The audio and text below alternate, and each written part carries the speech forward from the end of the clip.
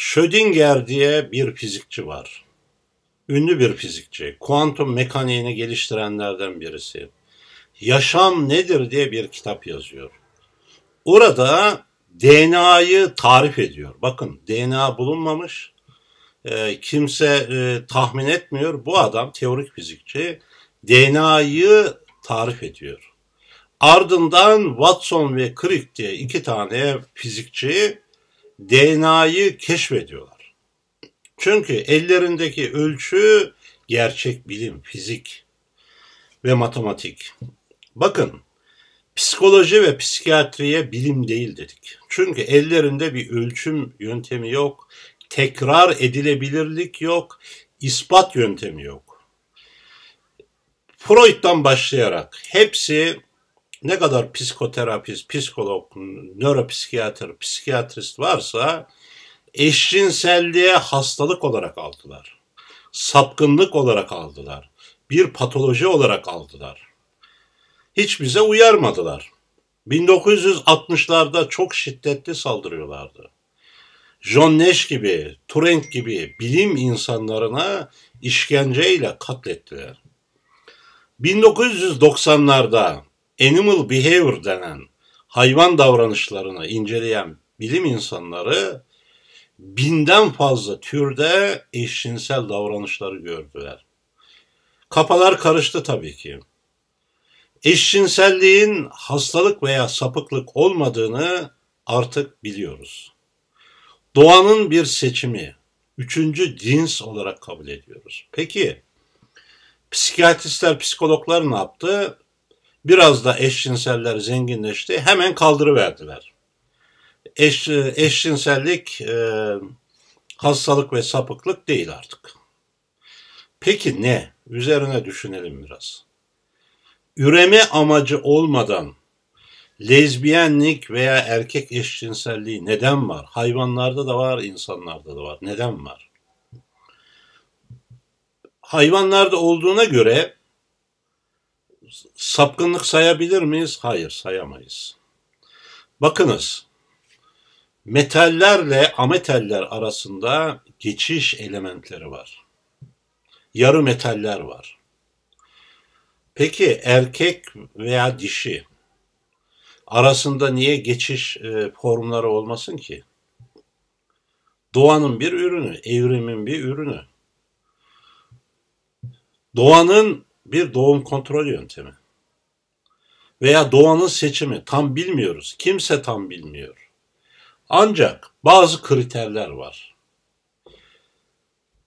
Örneğin hayvanlarda pedofili yok. Ancak insanlarda var. Bunu sapkınlık e, ve suç olarak sayarız. Ancak yetişkin homoseksüellerin, lezbiyen ve gayların ilişkilerinde zarar gören bir taraf yok. Ama bir pedofili de e, veya diğer cinsel yırtıcıların davranışlarında zarar gören bir taraf var. İki insan zarar görmüyorsa bu suç olur mu? Anormallik veya sapkınlık olur mu? Onların seçimi. Peki bir popülasyonda e, eşcinsel bireylerin çoğalması e, diğer heteroseksüel bireylerdeki kısırlığı etkiliyor mu? Daha az kısır birey çıkıyor. Bakın belli bir alanda farelere aynı miktarda yiyecek verdiler mi üreme kontrol altına alınıyor. Nasıl? Birbirlerini yiyorlar, parçalıyorlar. Ancak daha insancıl yönü veya daha e, vicdanlı, merhametli yönü eşcinsel bireylerin çoğalması. Bu kontrollü deneylerde gözlenmiş. Gerek lezbiyenlik, kadın eşcinselliği, gerek e, erkeklerdeki eşcinselliği bu açıdan bakabiliriz. Tekrar söylediğim gibi hastalık veya sapkınlık olarak görmüyoruz. Ancak üremeyi de hizmet etmiyor. Peki e, bunlar kötü insan mı? Düşünebiliriz. Kadın satan birçok eşcinsel var. Ee, yani e, bakıyoruz ki seri katil var. Kötü insanlar mı? Bir de geçenlerde şöyle bir şey okudum gazetede. Bir kadın ölmüş, otopside erkek çıkmış. Kadının kızı tabii şok. Bakınız bu travesti mi desem, eşcinsel mi desem bu kız çocuğunu almış sağlıklı olarak büyütmüş. Demek ki şu sonuca varabiliriz. Bunun gibi dünyada birçok örnek var. Ee, eşcinsel olmak, kadın olmak, erkek olmak iyi veya kötü olmanın garantisi değil. Eşcinselin de iyisi kötüsü var, kadının da iyisi kötüsü var, erkeğin de iyi, iyisi kötüsü var. Demek ki bir eşcinsel de sağlıklı çocuk büyütebilirmiş. Gazetelerde çıktı. Ee, annesi ölünce erkek çıktı diye. Peki şöyle söyleyeyim. Eşcinsel pedofiller var. Bunlar ne? Bunları nasıl düşüneceğiz?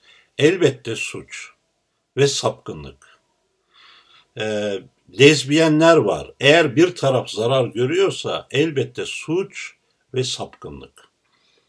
Toplumda fuhuş yapan travestiler, eşcinseller var. Bunları nasıl bakmalıyız? Bunlar toplumun çürük e, yani çürük elması mı, yarası mı? Bakın ben yıllardır bu grupları incelerim. Birçoğunun derneğine, vakfına yani gruplarına gittim. Akıl hastanelerinde ilaç verilen eşcinsellere söyledim, ilgilenmediler. Bu sebeple onlara hedefimdi. Ancak şunu söyleyeyim size. Çevremde birçok da eşcinsel oldu, lezbiyen oldu, gay ve travesti oldu. Ee, şöyle açıklayayım size. Bu eşcinselliği toplum bilmiyor. Eşcinsel bireyler, kırsal kesimdeki bireyler e, iki ateş arasında kalıyor. Ya intihar ya fuhuş. Üçüncü yolda bunun ticaretini yapma. E, yaşamını sürdürme. Peki biz bunlara neden iki tane seçenek sunuyoruz? İntihar veya fuhuş gibi. Ancak bunlar fuhuş yaptığına göre bunların da müşterisi var demektir. Yani bir erkek eşcinseli partneri olarak seçtiğinde o da eşcinsel olmuyor mu? Ha, bir de ne geldi? Eşcinsel olarak aktif eşcinseller. Yani kulan paralar. Yani oğlan severler. Bence bunların içinde en tehlikelileri oğlan severler. Oğlancılar, kulan paralar. Bakın zampara diye bir terim var dilimizde. Bunun geçmişini incelediğimizde zenpare yani köçek sever. E, zenne e, dansözlük yapan oğlan demek. Kötü yerlere gidiyor değil mi sonu? Biraz daha geriye gittiğimizde kötü şeyler geçer. Yani toplumda bayağı yaygınmış. Demek ki toplumda bu eşcinselleri hor gören, aşağılayan bir kesim var. Bu kesim de aynı zamanda müşterisi. Bunları bilimsel olarak, etik olarak incelemeliyiz. Üzerlerine gitmeliyiz. E, intihar e, veya fuhuş seçimi sunmamalıyız. Onurlu yaşam olanağı sunmalıyız. Psikiyatristlerin elinden bipolar veya şizofreni damgası yenmesini ve ilaca zorlanmalarını engel olmalıyız. Ben sadece bunları anlamaya çalışıyorum, korumaya çalışıyorum. Sömürüden e, sömürüden e, korumaya çalışıyorum bu kadar. Peki bazı LGBT, Kaos GL böyle dernekler var, yürüyüş yapıyorlar. Peki e, böyle giymişler açık seçik, ha bilmem ne böyle konuşuyorlar. Peki neden cinselliği kullanıyorlar? Neden? Söyleyeyim size terbiyesizliklerinden. Eşcinselsen eşcinselsin. Niye ön planı çıkarıyorsun ki? Bakın Amerika'daki mimarlık ofislerinin çoğu eşcinseldir.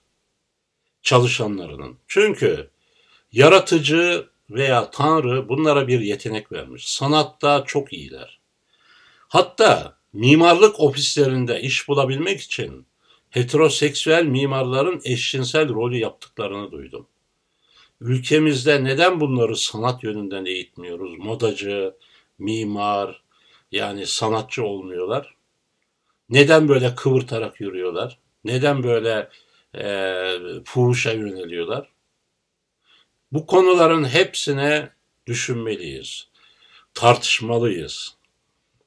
E, bir popülasyonda yani bin kişilik, on bin kişilik bir nüfusta mutlaka bir tane çıkıyor. Bakın otizmin gerçekte görülme sıklığı 10 binde birmiş. İle aşılar çıkmadan önce.